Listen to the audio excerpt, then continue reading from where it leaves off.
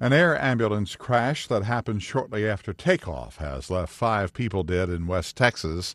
The incident occurred early Sunday morning as the twin engine Cessna was transporting a local patient to another hospital. We had a, a lady who was being transferred over to Odessa to the medical center for a, a, hip problem. We had answered the call earlier in the day, brought her to the hospital here in Alpine.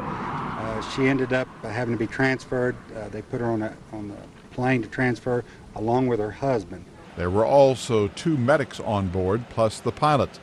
The Texas Department of Public Safety says the pilot was apparently trying to make an emergency landing when the plane hit a rut in the field, overturned, and burned. The NTSB is investigating. Ross Simpson, The Associated Press.